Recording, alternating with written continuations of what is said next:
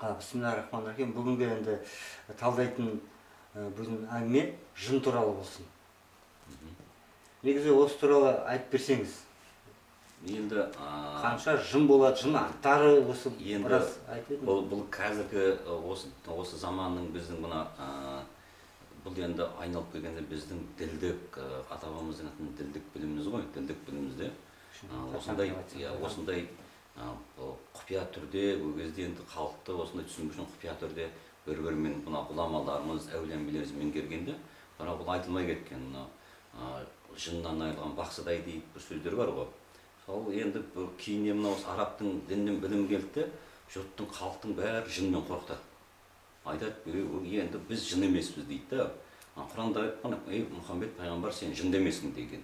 Яғни мұхаммед пайғамбарымыз өте көркем мінезі болғаннан кейін онда жындылық мінез болмаған сондықтан сен жынды емессің деп айтқан бірақ жынды емессің деген сөз енді бұл сенде жын жоқ деген емес қой жын деген біздің бүкіл мына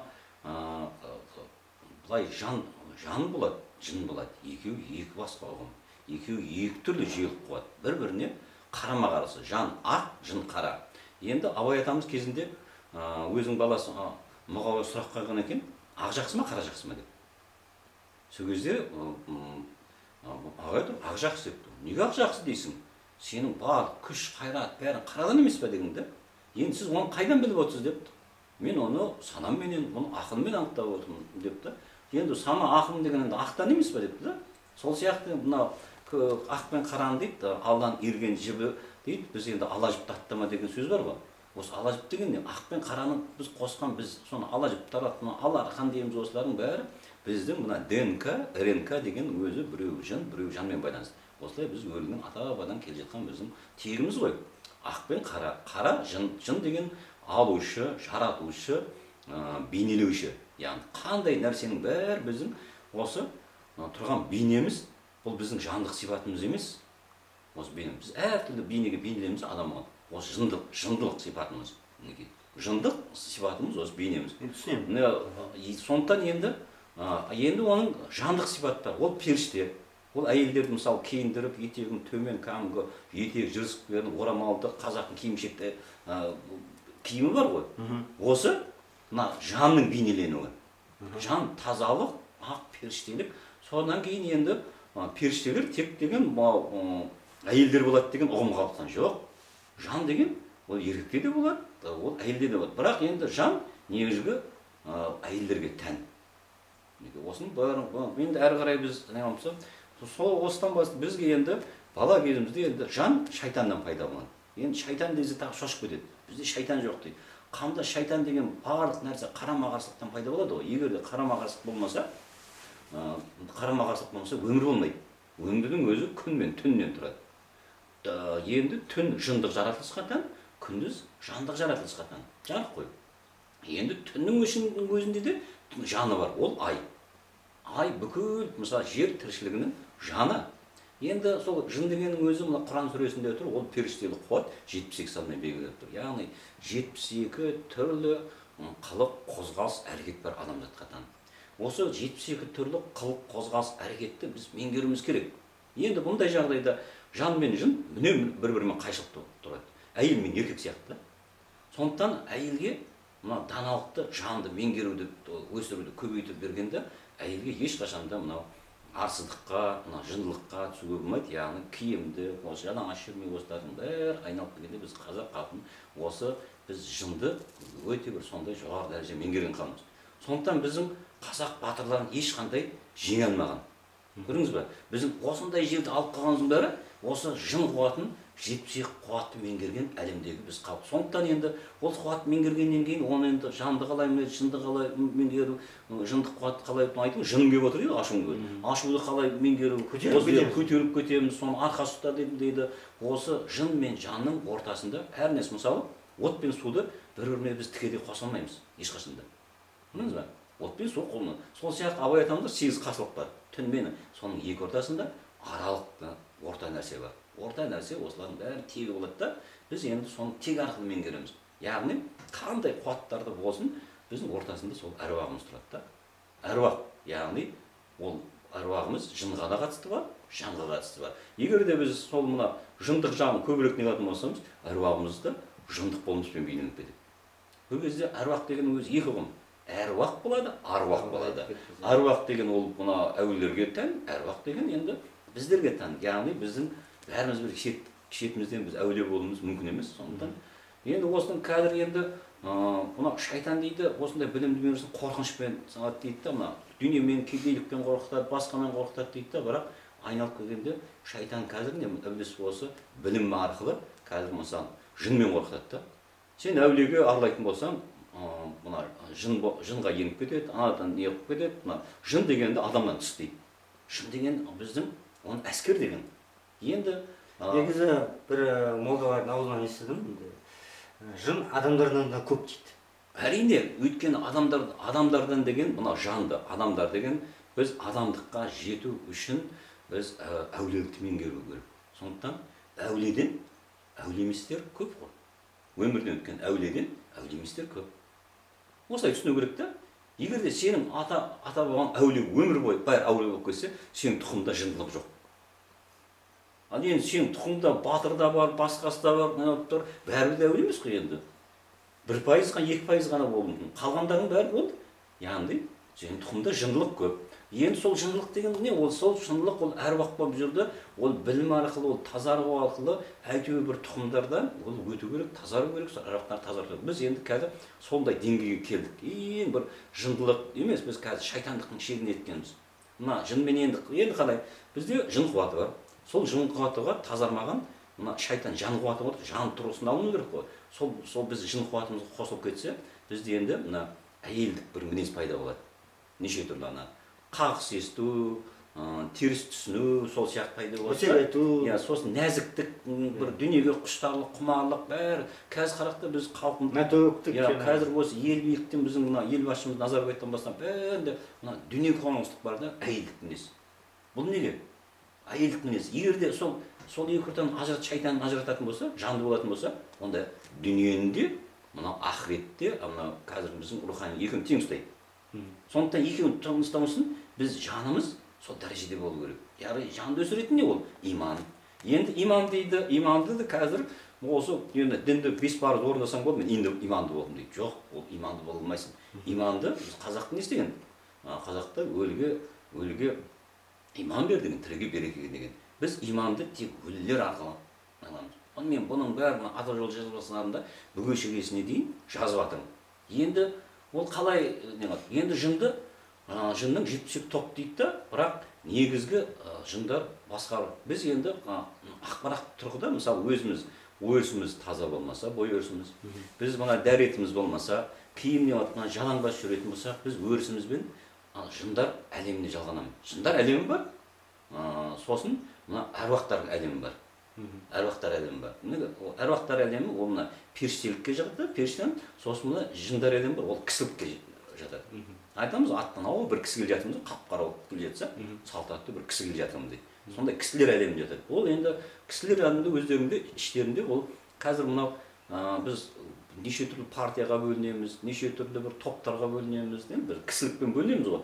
Сол сияқты олардың да бір мұсылмандары бар олардың ішінде мынау бұзықтары бар топтар топ бірге өмір сүретін. Сол бөлек бөлек осылай өмір сүреді топ топ топ. Сондай енді солардың ең басқарушы жеті топ болады. Ең жындардың басқарушы үлкен топтар. Жалпы жындардың аттары болады енді аттары да бар. Сосын енді оның үш түрлі несі болады да жындардың үш түрлі топқа ал хайуандық дәрежесі бар мына хайуандардың өзі жын ғой жын болмаса ол сондай мына аң ұстап жүгіріп соның бәрі ненің бәрі меңгермейді ғой жын адамның несімен байланысты ол адамның мына көру есту ойлау сезімдерінен пайда болған біліммен байланысты көрдің бе мына өмір сүру үшін бізге білім керек та ана сонда белгілі жағдайда ғана оларда ой болмайды білім ғана бар мысалы арыстан болса оның өзінің білімі бар өзінің сол арыстандық біліммен ғана өмір сүреді. Онда енді ол арыстан басқа хайуанға айнале алмайды түлкі болса өзінің қулық білімі бар. Ол кәдімгі айтқанда бір қылық қылықпен шектеліп қалған. Сондықтан қазір жындарда не болады ә, сосын бұнда ә, жындар адам ол жындарды енді әскер дейді. Сүлейменнің алдына дейді ә, құстардан аңдардан адамдардан әскерлер жиналды дейді.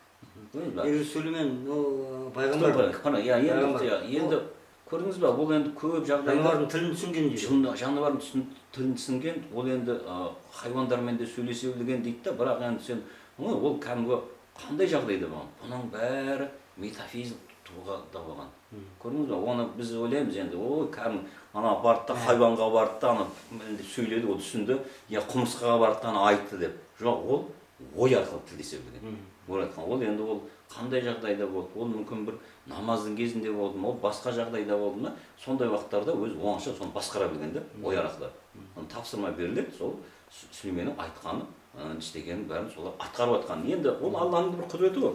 Сонан енді мен мына жақта тізіп қойдым. Жалпы жын дегеннің өзі қуаттың негізгі несі? Мына үш күн. Үш бұрыш бар ғой. Мына қарап отырсаң біздің қолымыздың мынау мынау тұрған міне. Міне бізде өзі үш түрлі жын бар саусағымыз арасында. Мынау біздің бұл біздің енді періштелік белгіміз екі мынау аллам аллаханың өзі жазып қойған үш түрлі мына тек бар төртінші тек ол бөлек ол жандық қуатқа жатады яғни төртеу түгел болса төбеден келеді деген міне осы дәрежемен бай- байланысты. Осы енді үш күн қазір енді анау біздің жыныстық қазір әйелдер шалбар киіп алып жүр- несін көрсетіп жүреді арай жаптарын көрсетіп арай жап деп жатамын да. Сол жынсыздықтарын көрсетіп жүреді осылардың бәрі жындық несі. Сол жындықтың бұрышына қарап төсін ашып қояды бүйтіп мынау. осылардың бәрі мына жынмен байланысты үш күн нәрсенің бәрі біздің таңбамыздың бәрі үш күн жазу жынмен байланысты сондықтан енді мына жындардың енді біздің қылығымызға қарай жындар өзі бөлінеді әрі қарай мына жеті топқа бағынады да жалпы енді қырық буын қозғалыс бар үш топ мына хайуанды құстық сосын адамдық дейді адамдықтың жындар тобы енді біз адамдық жындар тобын енді осының бәрі біз мына хайуандармен құстарменен бәрі қуат содан келеді жындық қуат деген мысалы бір адамнан құсқа хайуанға былай өтіп кете береді да. Мына көрдің ба адамда жүргендерің мысалы адамның енді енді жынның ішінде жынның ішінде ол бөлшегі бар белгілі бір де ол шайтандықпен байланысты. Шайтандық деген ол жанның негізі ғой. Біздің қа- жетілмеген жанымыз шайтан болады. Белгілі бір дәрежелерге дейін өспесе аққа айналмаса қызыл қоңыр түсті шайтан егер сол түстен бастап біздің бәрі ә, жынға қосылып кетеді да жанымыз сонда келеді.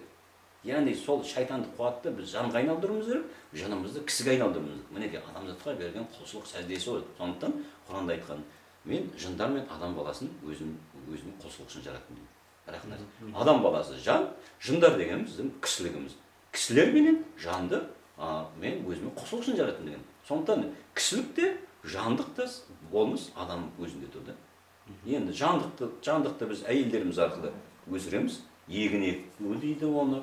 Сендер әйелдер сендердің егіндіктерің қалаған кезінде барыңдар деген мысалы оны бәйшешек бақшасы деген. Мінекей жан? Сондықтан мына гүл сыйлау бір ненің бәрі ырымның бәрі содан пайда болған да ана бір мен жанымды бердім деген сияқты сөз ғой ол бірақ айналып келгенде онда зиян обалдыр жалпы әр нәрсенің бізде айтты енді біз абай атамыз айтқан бар нәрсенің өлшемі болу керек. Біз қазір енді өлшемсіз сөйлейміз өлшемсіз барлық жалпы сөз баста сан болып жаратылды. Барлық сөзден сөзден пайда болды.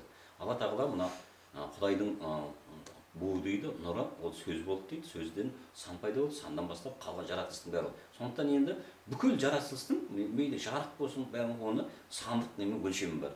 Енді жынның да осындай жеті тобының өлшемі бар. отыз тоғыз жиырма үш қырық бес елу бір алпыс тоғыз жиырма бір жеті деген енді. Енді о- осы енді мен жеке жеке әрқайсысына алсам мысалы ауа қа- сосын мына қара көмірмен алтынмен күлмен адамдар зәрмен байланысты жындар бар көрдің бе а, мұхаммед пайғамбарымыз айтып мына жындар деген сүйекпен маймен байланысты иіспен байланысты деген ғой жалпы мына бұларды көп айтылмаған себебі неге біз сендерге көбірегін елемей кететін мұхам пайғамбар жіберді деген мұхаммед пайғамбарымыз сол кездердегі білімге байланысты сол кездегі надандық бір дәуірге байланысты көп ғылымдарды ашпай кеткен көрдің бе сол ғылымдардың бәрін арыстан бабамызға үйретіп арыстан бабамыз кейін яссауи бабамызға үйреткен. Сонда көрдіңіз бе бір тікелей біз яссауи баба арқылы мұхаммед пайғамбарымызға жазған болатын арыстан баба арқылы көрдің осы білімдердің бәрі қазаққа келген бірақ осының қазір енді сендер масқап қана біледі дейді да. Масқап екі ортаға ол, ол білімді ол кім береді олар өйткені табиғин дейді сахабалар да ол кезде болмаған. Сондықтан енді мына отыз тоғызыншы бұл ашкөздікпен байланысты болады. Оның аңы суы. Көрдіңіз ба ана жәндікпен аш біздің мына ашкөздік қылықтарымыздың бәрі біздің қуаттық дәрежеміз суырмен байланысты болады қылығымыз суыр сияқты болады да ініге таси береді тығылады кәдімгі бірдеңе көздеп қашатын сондай қылықтығым.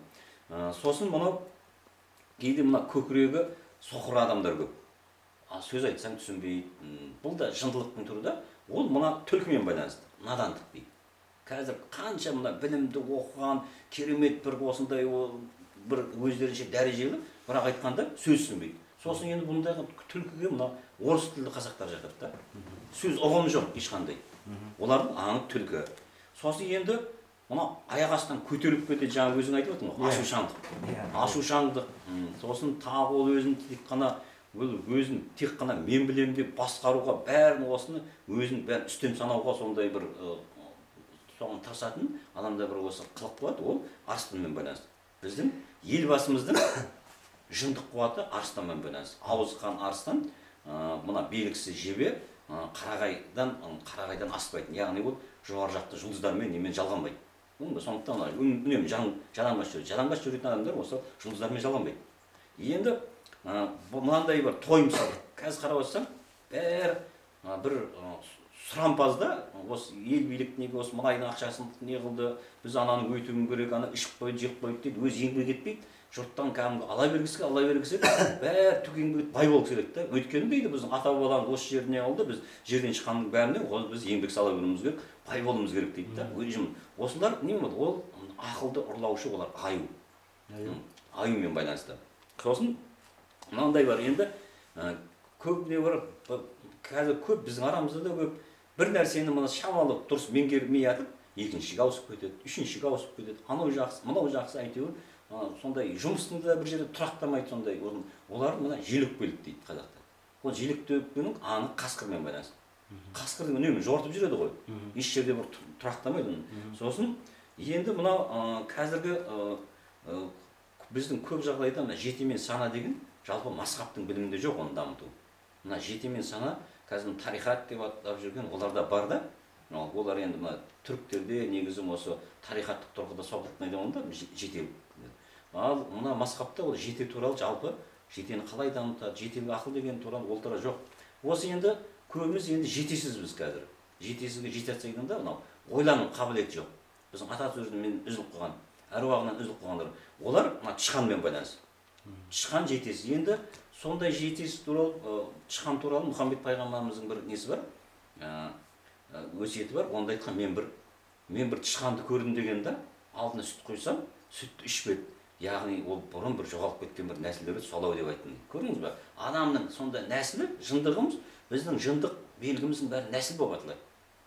Сонда біз нәсілдік нәсілдік жындық тұрғыда алланың алдында біз уәде бергенбіз. Біз уәдеміз сертіміз осы нәсілдік белгімізді меңгеру.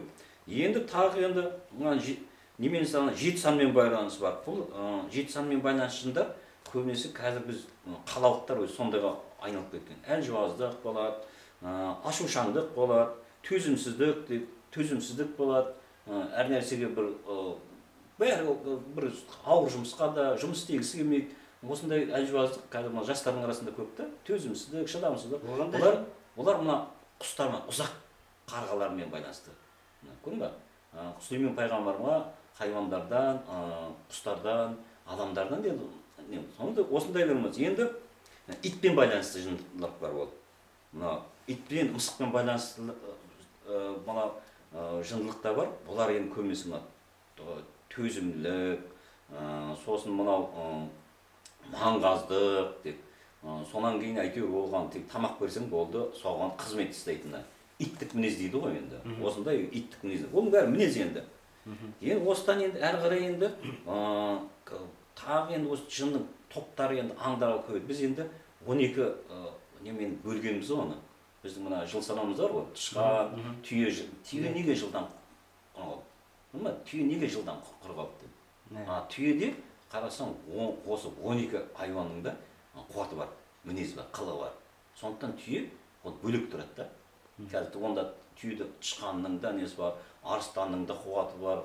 Түйеде осы бүкіл тұрған мынау ненің қылықтары бар осы 12 жыл сен жыландықта онда сезімталдық бар осыны біз мына біз көбінесе осы мына жындық қуат қалай жалғанымды осындай жыл санауменен біздің қандай бір неміз сонда енді біз жындық жындық қуат он екі мүшеменен айналып отырады. Жан он бірмен айналады. А, мына жындық қуатымыз он екімен айналады. Жетпіс екіні он екі берсең өзі тезегің шығып тұр да сандық тұрғыда енді осыдан енді қазір бірінші мына ел м, қауымдары бар жаңағы ә, қаншама осы ескерту түсіп жатыр ауа райы бұзылып жатыр ертең осы астанада топан болады деп жатыр осыған қанша апаттар болады осылардың бәрі оны мұны тек қана енді осы дүние біз қазір осындай осы дүниені арттырамыз да бұл енді сол құдай бізге бір ә, соның бәрі бере салатын осындай мойындамаушылық бар да. Осылар осылар қандай шынымен байланысты? Мұнда он алтыншы нақылмен байланысты мен енді арамыздан келген не болды он алты сан үкіммен байланысты дейді. Бұлар дейді қоянменен ә, жаңағы қарғамен байланысты дейді. Бұлардың жаңағы жындық нелесі қояндық қарғалық. Екі нәрсемен байланысты. Енді қазір мына масқапшылар бар. Әруақ теріс дейді да өздері. Жаңағы әруақ теріс дейді бірақ тазалықты жақсы көреді. Ар ұятты ардың толық меңгермегенмен де енді осы мына әруақ теріс дегеннің өзі ар, ар теріс дегенмен бірдей олар енді бір дейді ар дейді. Ар менен әр екеуі екі түрлі ұғым. Ар деген ол жоғары дәреже бұл құдайлық болмысымыз біздің арымыз. Ар тек қана құдайдан болады. Біз енді оны адам ол арды біз өндіре алмаймыз. Біз әрді ғана өндіреміз. Құдайдан нұр алу арқылы бізде ар пайда болады. Көрдіңіз ол ақ. Ол алла тағаладан берілетін қу- қуат. Сондықтан осыларды дейді мына жетпіс сандық мәнмен мына жиырма тоғыздық мысықпенен итпен байланысты мына масқапшы біздің жастарымыз да мысық пен ит сияқты да. Мысық сияқты жаңағы мысықпен бес мезгіл өзі қайта қайта жуынып тек намаз оқып ә, сосын тек жаңағы жылы жерде бір жақсы не болса сондайға үйренген біздің қазір мына масқапшы намазхандарымыз осындай болып жатыр намазханымыз дейді. Екінші ол ит сияқты кәдімгі. Кімге сүйек берсе соның қызметін жасап кететін өздерінде ой жоқ бәрі тәпсірге. Сондықтан мына ханафи масхабы дейді да осы біз ханафилар тура жолды құдай құдай қылып алдық та ханафиді. Ит сияқты бір енді егер біреуді егеленсе соған өмір бойы қызмет етеді. Енді олар бұра алмайсың. Мінездері ол итпенен ә, мысық сияқты. Енді қазір шашын жайып шалбар киген қыздар бар шаш жайып олар да не олар құзғындармен байланысты мына құзғын құстармен. Қазір шашын жайып жүрген осы құзғын құстар. Олар сасыққа неге ол енді арам неден жиіркенбейді қандай нәрсені болса жей береді. Енді мына нелер бар мына қазір қазақта біз баяғыда тәңірдің де болғанбыз тәңіршілдер қалғанын мойындамайды біз тәңірді. Бұлар мына қасқырлармен қырық сегіз енді әр сандық өлшемі бар енді оның бәрін айта берудің қажеті жоқ оның бәрі бұл өлшемнің астында да құранның аяты тұрады оның үлкен бір оны қазір енді біз оны қазір түсіне алмаймыз өзі халық оны түсінуге бір үш төрт жылдан кейін келеді. Енді санаулы ғана адамдар түсіне бастайды осындай бір хабар келді. Олар қасқырлармен байланысты сосын енді қазіргі біздің енді ата жолында айтып кету керек. Ата жолында қазір бата бергіштер көбейіп кетті аққулар. Кезінде ә, ауылдан ашылған сондай бірақ енді қазір бата деген өзі ырғақтан тұрады ол үннен тұрады ол сосын мақамнан тұрады. Мына бір сондай адамда бір үш түрлі қасиет болды үш түрлі қасиеттің тоғысы ғой. Бірақ кезінде сол енді алланың бір құдіреті ғой енді. Сол үш нәрседе болды хабар берді оның тазалығына қараған жоқ үн болды да кейіннен осылардың бәрі жындарға ауысты яғни жындық ақпарат тұрған. Енді қалады да бой өрістенеді сырттан алады сондай сондай қазір жалған мөр ашулар шық- шықты. Енді мына әруақтан бірақ олар әруақтан алып жатқан жоқ. Осы мына кез келген мына осы солар кез келген мысалы сенің жының қандай болса иттік болса ол сол иттік дәрежеге түседі де ол арасын жалғанады да. Соны ақ- ақпарат ала береді. Сен өзің ақпаратты істеген істің бәрін алдыңа жайып тастады керемет дейсің да бір. Бірақ сенің тағдырыңа ол ештеме хабар бере алмайды. Тек өзіңде барды ғана салып береді. Осындайлар бар. Иә осындай жалған бата дейді мына олар ә, қара түнек күштерімен байланысты түйсік бата беретіндер олардың негізгі мына аңдары түлкі менен аю. Ақылды ұрлау жаңағы түлкі ана энергомасы түлкі бір алдауменен байланысты. Да аққулар иә аққулы қазір Аққу көп аққулар аққу сұңқарлар сондай ғана. Өйткені оны қалай анықтауға болады? Оны киімінен ә, намазынан сөйлеген сөзінен білімінен анықтамаса бәрі ол қа- зияратқа барған кезде керемет киініп алған. Бірақ үйіндегі тұрмысынан қарау керек та жындылық мінезінен.